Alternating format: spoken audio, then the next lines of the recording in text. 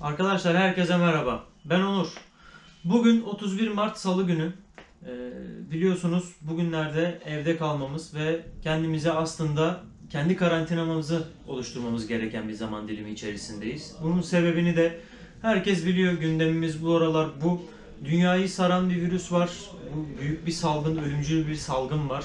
Ve bu salgından hepimiz hem sevdiklerimizi hem kendimizi koruyabilmemiz adına özellikle gençlerin eee, evlerine ve ailelerine, aile büyüklerine hastalık bulaştırmaması için evde kalması, kendini olabildiğince toplumdan izole etmesi gerekiyor.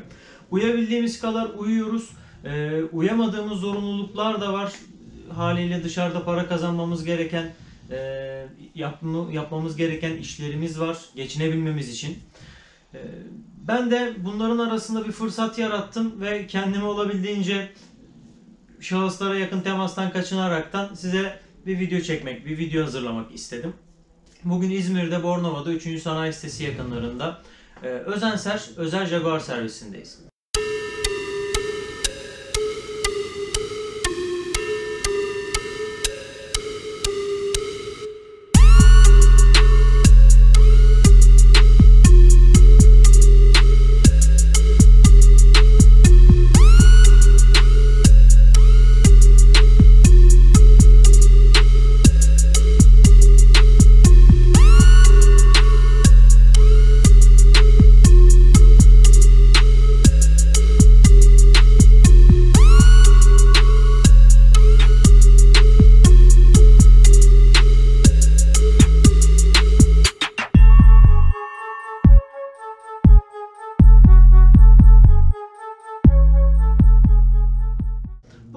Aracımıza birkaç işlem yapılacak. Hazır fırsatını bulmuşken hem ustaların eli boşken hem de e, dışarısı kalabalık değilken bizler de böyle bir video hazırlama gereği duyduk.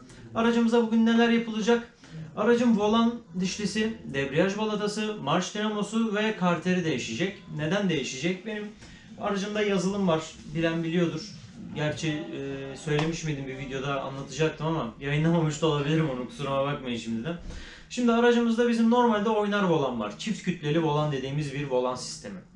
Yaylı iki plakanın birbiriyle buluşması ve e, bu şekilde hareket etmesiyle e, oluşan bir volan bu. Ben bunu iptal edip düz volan, sabit volana çevireceğim. Hem birazcık daha hafiflemiş olacak hem gaz tepkilerini o e, oynamadaki o ufacık kaybı ortadan kaldırıp gaz tepkilerine daha hızlı yanıt vermesini sağlayacağım aracın. Hem de bu aslında bir zorunluluk benim için. Daha doğrusu volanı sabite çevirmek değil, volanı değiştirmek benim için bir zorunluluk şu an. Çünkü baskı balatam günden güne bitiyor. Şu an geri geri geri giderken bile zorlanıyorum. Yokuş çıkarken kaydırma yapıyor. Haliyle bunun değişmesi gerekiyordu. E şimdi çift kütleli volanla sabit volan arasında öyle bir maliyet farkı var ki ve sabit volan alındığı zaman bu daha uzun ömürlü gidecek benim için. Her debriyaj değiştirdiğimde volana bakmak zorunda kalmayacağım.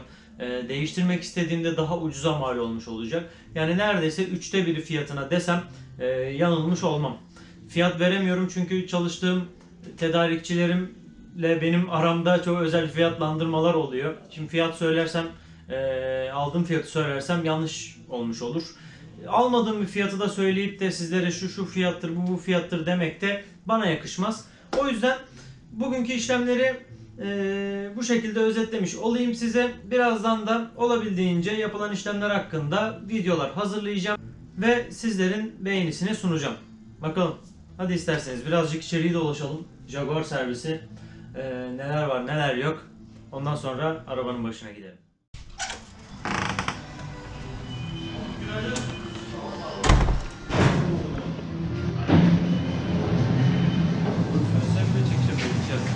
Neden ya? Şimdi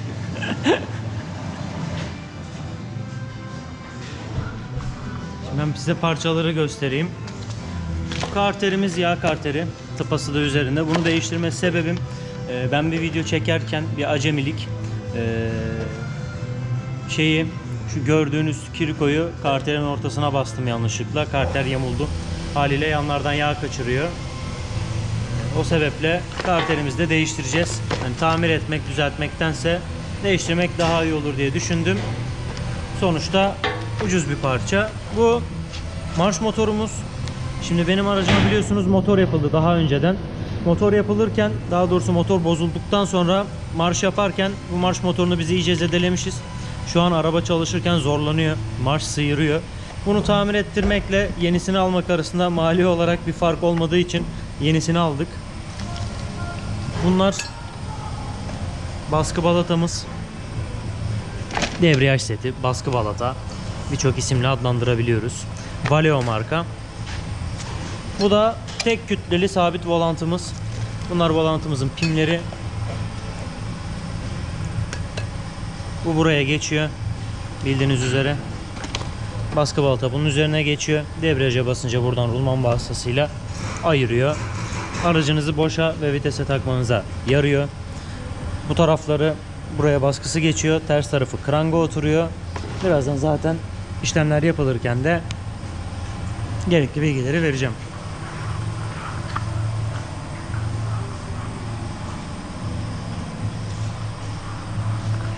Ustacığım kolay gelsin. Bu da arkadaşımızın aracı. Buna kozmetik işlemler yapılacak. İşte tamponları söküldü, marş belleri söküldü, boyanacak, pastacılığa yapılacak. Ee, aynı zamanda farları temizlenecek. Şimdi bu araçlarda bir problem var. Far ayar cıvataları kırılıyor. Ee, onların değişmesi gerekiyor zamanla. Yoksa yolu göstermiyor. Mercekler aşağıya doğru düşüyor. Bu da benim araç. Ustalar kaçıyor kameradan. Anlamadım.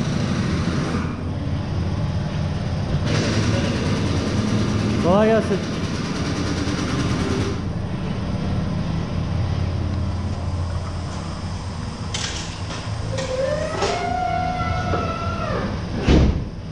Kolay gelsin Türker Usta.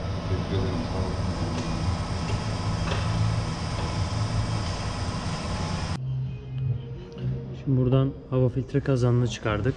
Akümüzü çıkardık. Buradan yandan gerekli cıvatalar söküldü. Şimdi alttan Türker Usta aksı gevşetiyor.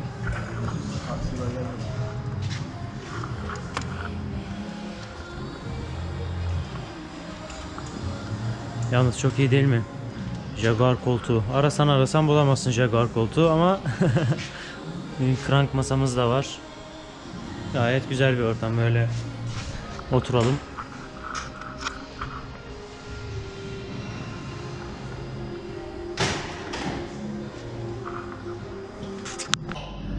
Evet. Aracın üzerinden çıkan volan ve debriyaj seti. Yüzeyinde yanıklar var. Bu da oynar volan. Sağa sola oynaması bir kendi payı var ama bu aşağı yukarı da oynuyor. Gözüküyor mu bilmiyorum. Bu şekilde aşağı yukarı oynamaması gerekiyor. Haliyle sesi yapan bu. Ee, Şimdi hepsi yenilenmiş olacak. Aynı zamanda traver sökülmüşken şu viraj denge demirlerini de değiştireceğiz. Zerotları da miadını doldurmuş. Buraları da güzelce bir temizleyeceğiz. Tamam.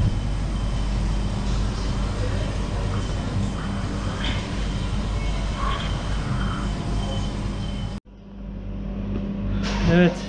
Tekrar ben biraz böyle tipimiz kaçtı ama saç sakal saldık karantina süreci diye. Şimdi e, aracın şanzımanı, volanı her şey üzerine takılıyor. Artık yağını koyacağız. Yağ olarak da şanzıman yağını Castrol Dextron 3 kullanacağım. Normalde otomatik şanzıman için e, faydalı bir yağ ama bizim aracın da üzerinden çok acayip bir yağ çıktı. Yani ne kullanmışlar daha önce belli değil. Biz de bunun uygun olacağını düşündük. E, ATF Dextron 3 serisi.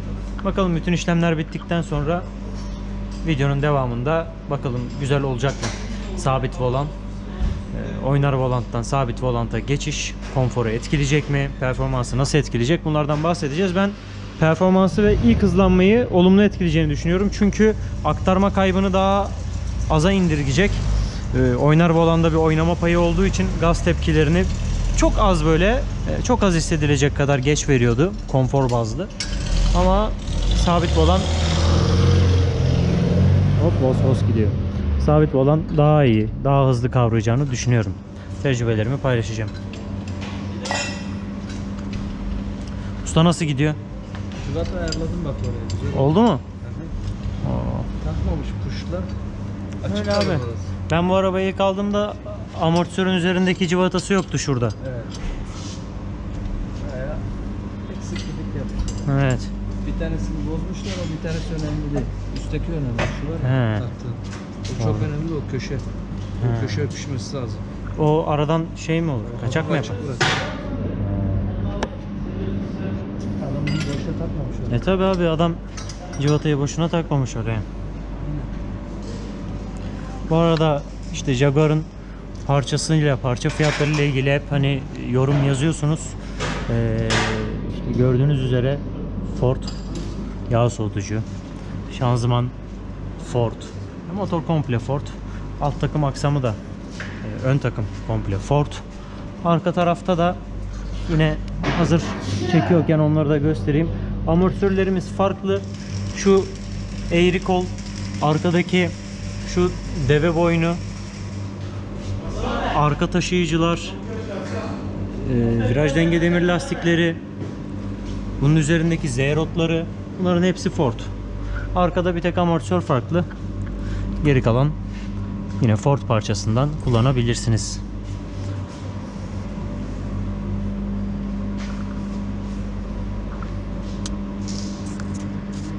Benim çıktı. Seni çekiyorum abi. Yiğit abimiz geldi. Yiğit abimizde de bir 2.5 canavar var. Orijinal Jaguar rengi yeşil. Bu benzinli otomatik. Abim kapılar kilitli. Virüsten dolayı içerisine girmeden uzaktan uzaktan. Bu 2.5 otomatik benzinli arkadaşlar. Yani ben de gönül ister benzinli alsaydım diyorum şimdi daha doğrusu dilim damağım karıştı. Şimdi bu 2.5 otomatik benzinli 4 çeker. Yani ben de bazen düşünmüyor değilim yani dizel alacağıma benzinlisini alsaydım diye ama ilk Jaguar'ım olduğu için korktum. Hani dizelde Ford motor parça konusunda sıkıntı yaşamam diye düşündüm ama e, benzinlide de yaşanmıyormuş. İşin içine girdikten sonra gördüm. Yani almak isteyene benzinlisini de tavsiye ederim. Özellikle böyle bir İngiliz rengi e, yeşil Jaguar rengi bulursanız tadından da yenmez. Otomatik olması da ekstra. Bir de bu benzinlerde normalde Türkiye'deki versiyonlarında DSC ve koltuk ısıtma olmuyor. Hatta katlanır ayna da yok. Bu araba şey olmasına rağmen eee, 2002 model olmasına rağmen katlanır aynalar, koltuk ısıtma ve DSC mevcut. Bir bardaklıklar yok. Bir de arkada eee, kol dayama yok. Çok acayip. Ama Almanya girişli değil mi abi bu? Gümrük ihalesinden almıştı abimiz. Güzel. Maşallah. Kazasız belasız kullan abi. Teşekkür ederim çok sağ ol. Hadi çayımızı içelim.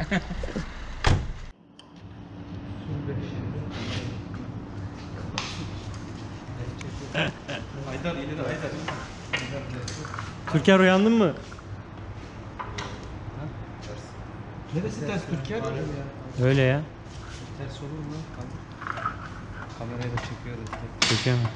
Buraların montajını. Kü- küfür yasak. Koşu ne tarafa geçiyor? Doğru. Arkada kalacak. Hadi ilk marş.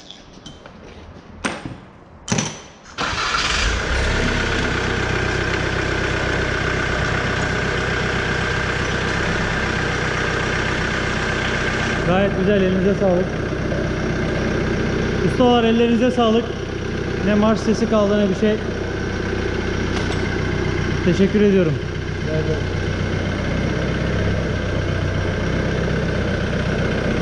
Şimdi ben test ettikten sonra performansı ile ilgili de bir şeyler ekleyeceğim videoya. Kendinize iyi bakın. Görüşmek dileğiyle.